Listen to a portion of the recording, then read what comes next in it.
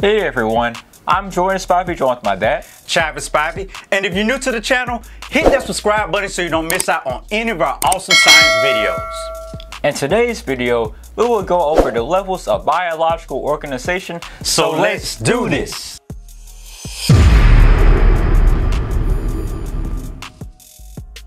Our learning target for today is, I can describe and explain the biological levels of organization.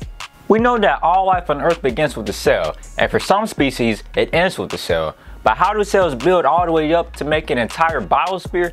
Let's do a quick review on how organisms are organized and how they lead up to the biosphere. The living world can be organized into different levels. For example, many individual organisms can be organized into the following levels. We all start off with cells. Now cells are the basic unit of structure and function of all living things. Cells combine together to make tissues, which is a group of cells of the same kind that perform the same function. For example, muscle cells, blood cells, heart cells, kidney cells, all of these specific type of cells combine together to perform a specific function in an organism. Notice that the heart cells would not work as blood cells and vice versa because of their specific function. Next, Tissues combine to make organs. Organs are structures composed of two or more types of tissues. The tissues of an organ work together to perform a specific function. Human organs include the brain, stomach, kidney, and liver. Plant organs include roots, stems, and leaves. Next, organs combine together to make organ systems. Organ systems are a group of organs that work together to perform a certain function. Examples of organ systems in a human include the skeletal, nervous, and reproductive systems. Finally, organ systems combine together to make up an entire organism.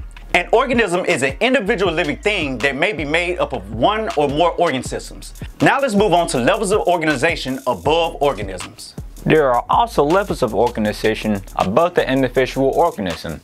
Organisms with the same species that live in the same area make up a population. For example, all of the goldfish living in the same area make up a goldfish population. All of the populations that live in the same area make up a community. The community that includes the goldfish population also includes the populations of other fish, coral, and other organisms. An ecosystem consists of all living things which are called biotic factors in a given area, together with the non-living things which are called abiotic factors. The non-living environment includes water, sunlight, and other physical factors. A group of similar ecosystems with the same general type of physical environment and weather is called a biome, like the rainforest, savanna, taiga, tundra, and temperate deciduous forest. The biosphere is the part of Earth where all life exists, including all the land, water, and air where living things can be found. The biosphere consists of many different biomes. So let's do a quick recap of biological levels of organization. First, we start off with cells, then cells make up tissues, then tissues make up organs, and then organs make up organ systems, and organ systems make up an entire organism. A group of organisms of the same species that live in the same area together make up a population.